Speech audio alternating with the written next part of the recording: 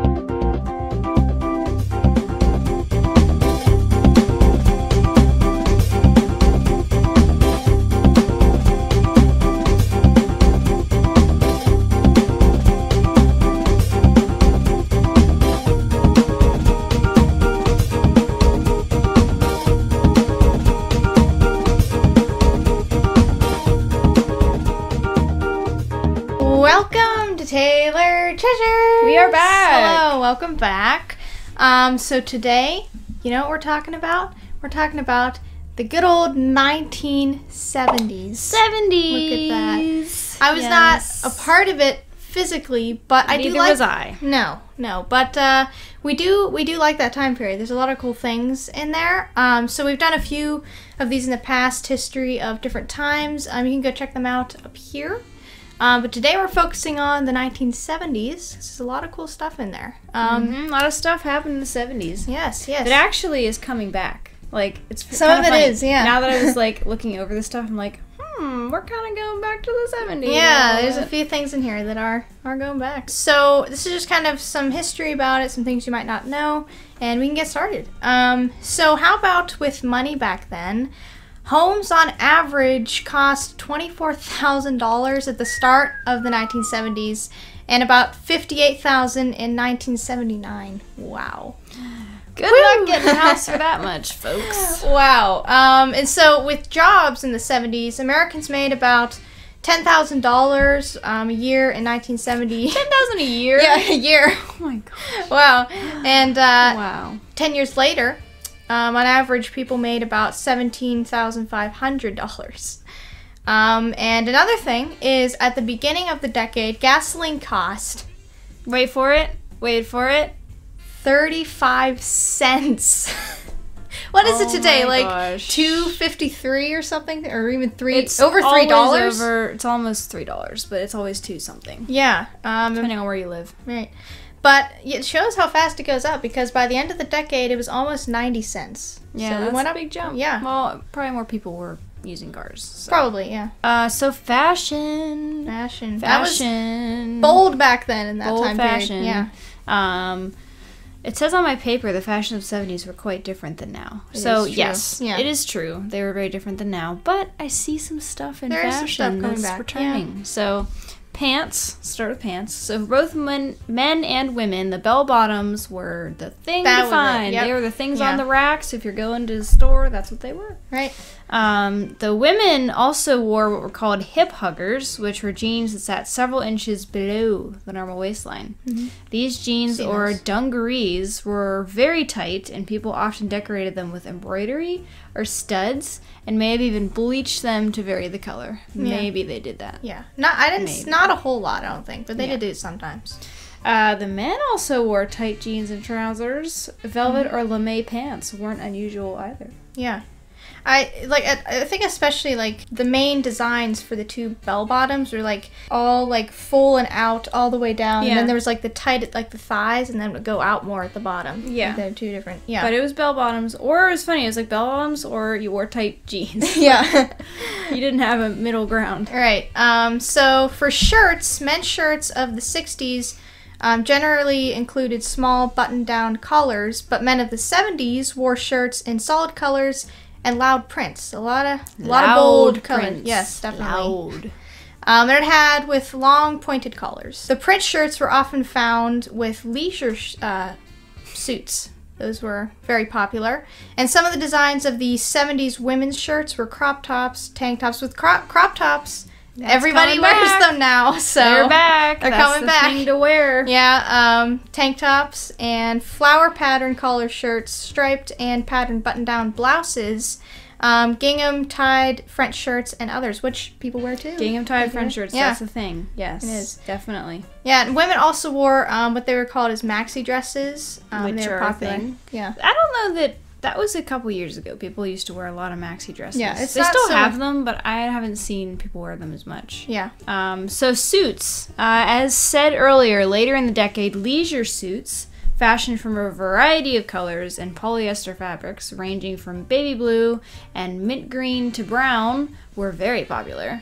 Um, also in the late 70s, both men and women wore jumpsuits, again, coming Yeah. back, right? Which jumpsuits are one piece outfits. In this case, they zipped up in the front and they had a belt, Yeah. uh, usually like a really wide belt. Now, you don't have that, but still, like the jumpsuits are not for the guys, yeah. but the The- girls. yeah. Um. So hair. Now hair was very bold back then. Yeah. Very bold. We're not gonna compare. we're not. Our hair is we're not quite like back to there. I don't think for most people. Um. But so there's a, a big difference from the 60s to 70s. Um. 60s hair was you know was very neat and tailored. Um. But it got very unkept and very big in the 70s. Like, take out the bobby pins. yeah, we're going big. A good a good example of this was known as the shag hair. Um, shag hair came in different lengths. Um, the shag hair of the 70s was a soft layered cut with more layers at the crown of the head and thinner hair at the bottom. Um, some shag wearers had bangs while others did not. Um, those who had shag often kept hair out of their faces by using colorful plastic barrettes that could be purchased at the local five and dime, which don't really exist anymore. Feathered hairstyle was also pretty big. It was one of the longest lasting haircuts of the decade. Yeah. It was introduced uh, best by the actress Farrah Fawcett in Charlie's Angels, and was probably the most popular hairstyle of the time because it had a name and it was called the Farrah. Yeah.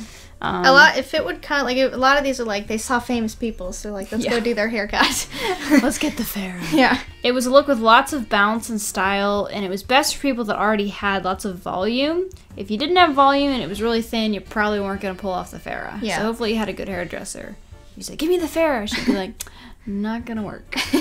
yeah um, so how about the wedge hairstyle? It was sort of similar to bowl cut. The wedge hairstyle of the 70s was made popular by ice skater dorothy hamill um, who wore the easy cut when she won the olympic gold medal in 1976 after her appearance on TV, many people wanted to look like her. You know, see the famous people. Here we go again. Um, the cut was enjoyed by all women, like of all ages. They all loved it um, because it was easy to care for and could look both sporty and stylish. The wedge was also very popular because it worked for most hair types, except for like the really wavy or curly hair. Yeah.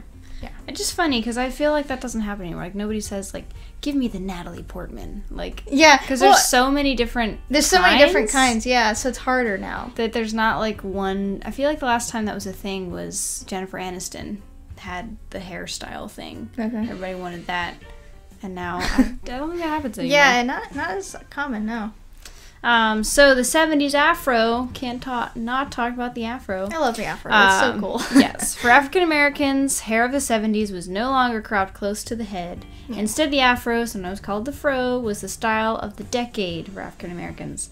Those who wanted to wear an afro allowed their hair to grow long and extend straight out of their head.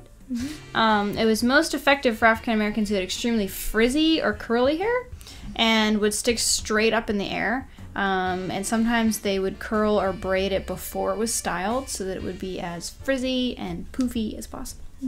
Many black celebrities of the era wore an afro, including the Temptations, the Jackson Five, Marvin Gaye, and television personalities like Richard Pryor and Damon Wilson. Uh, no matter what hairstyle they had in the 70s, you could most likely find a few or many bottles of hairspray Oh yes, very Bottles very popular back then. in every person's home. Now we still use it, but it was big Yes. back then. They No, used it, It was lot. way more like you definitely had hairspray. Yeah. Like, I know people who don't even have it right now. You Yeah. know. So how about um, music? So there was different kinds of music in the 70s, just like now. Um, so there was soft rock music.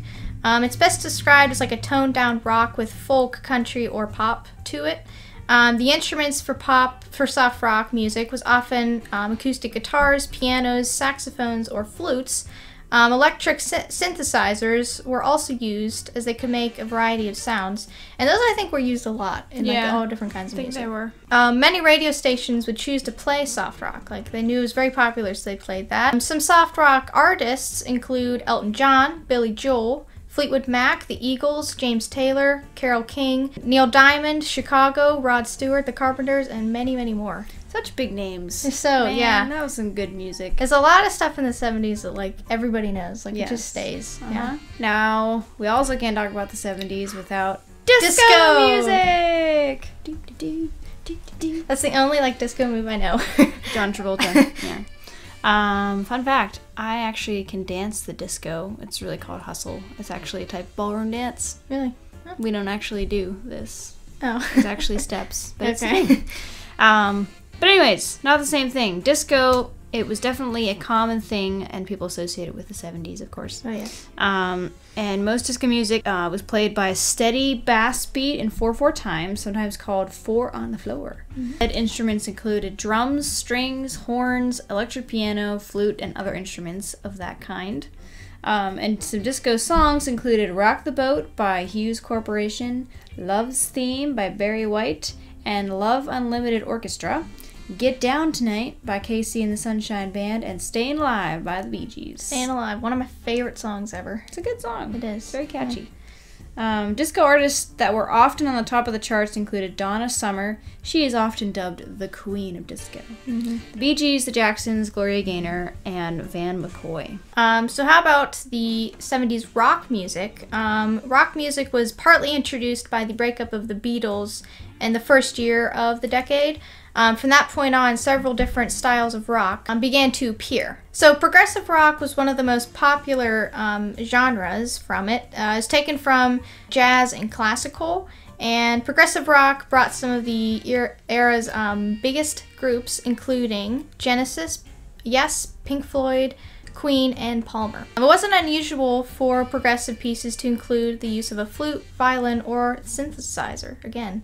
Um, and then there's punk rock. It got its start kind of in the later years of the 70s. Um, some of the punk bands included The Clash, The Ramones, Patti Smith, and Blondie. And then there's urban rock. Also, So many rocks. there, there are different So kinds many. of rocks. You don't realize, but yeah. It appeared as a popular genre of the time. Some of the bigger groups included Sly and the Family Stone, Earth, Wind, and Fire, great group. Kool and the Gang, I only know the one song, but it's great.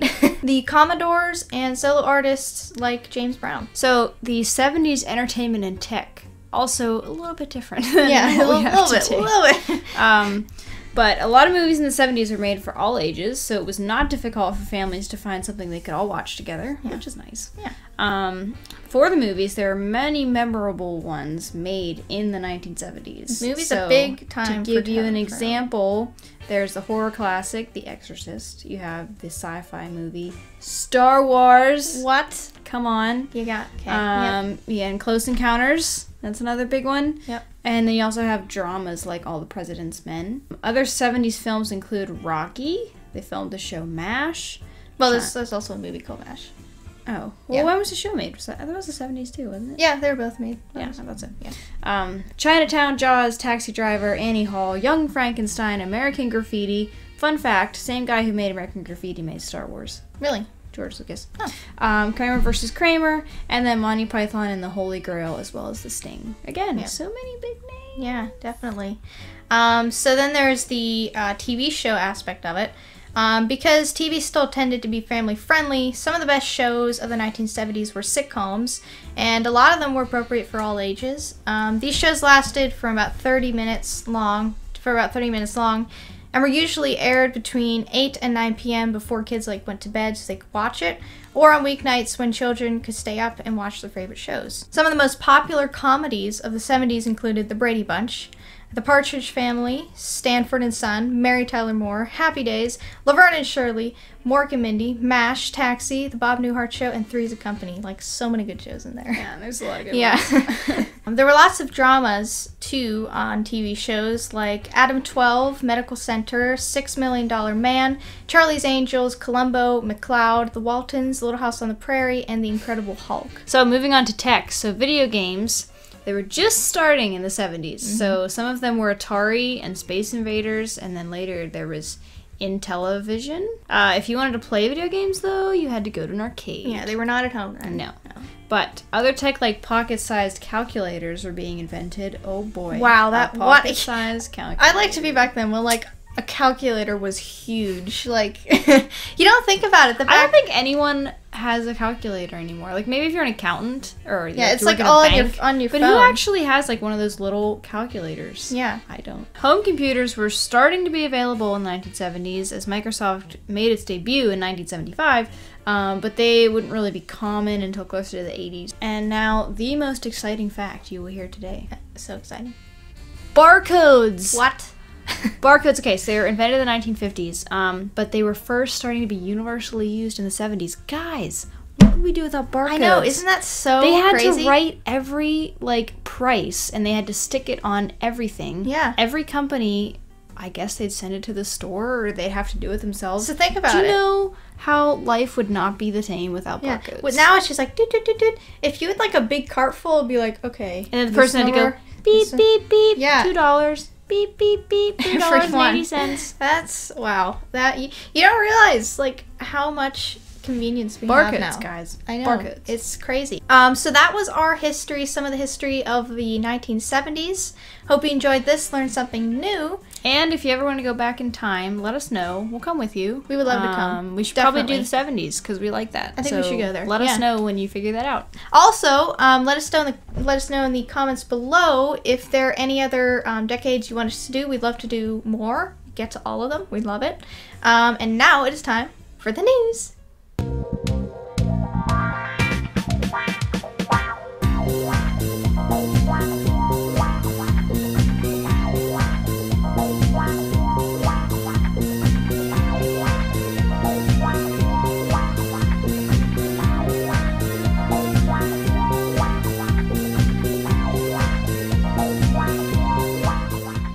Breaking news. If you were born in the 1970s, you are no longer a child.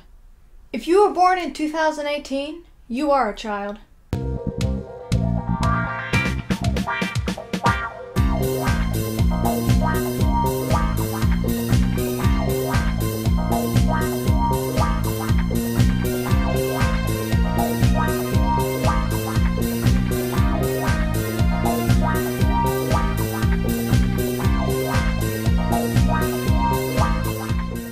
And now it is time for the Taylor Treasure Box. Should have done it in like a, I don't know, a 70s song. I couldn't think of it off the top of my head. Taylor Treasure Box, come on. Dee, dee, dee, dee, dee, dee, dee, dee. okay. Uh, I got a would you rather. Truth and a lie. Uh, okay. So, would you rather call 10 people you know and sing happy birthday to them, birthday to them when it's not their birthday? Or talk I in would a, do that. or talk in a Bogo Phil voice to them? I think they'd be less confused if I did the happy birthday song. Like me, okay, you're joking. It's You like, would not be able to do no, that. I wouldn't be able to do either no of amount of money that would make you do that. But hmm. I'd say I think it'd be a little bit easier for me to do the happy birthday song. Cause mm, it, yeah, yeah, I I, wouldn't. Phil, let's. I wouldn't want to do that. Yes, no, not yesterday. Two days ago, I either had to go and fill up my windshield washer fluid in my car or my brake fluid. wow, Welcome so to being juicy. an adult. These are the things is- you do when you're an adult. Wow. Not getting any like dark past from you. Okay. wow. Um, windshield. Wait, what was the other one? Windshield wiper fluid or brake fluid? Let's go with brake fluid. You are correct. I Uh, need a yep. brake fluid. so use there's a look into Laura's life. Mhm, the exciting, the exciting life of Laura Taylor. okay, um, so hope you enjoyed this episode. Make sure to give us a like and a comment. Make sure to subscribe. And after you subscribe, make sure to press the bell to get all of our videos in your notifications box. And make sure to, to um, follow us on Instagram at Taylor Treasures Official. And we'll see you next time. Bye! Hey guys, thanks for watching that episode. If you'd like to Thank subscribe you. down Please here, subscribe. really appreciate it. that That'd be awesome. Just press a button That'd be it's really done. cool. It'd be really cool. Yes. And how about you could watch another video over here? Watch a video. Watch a video right here. And you can check out our channel. And we'll see you next time. Bye.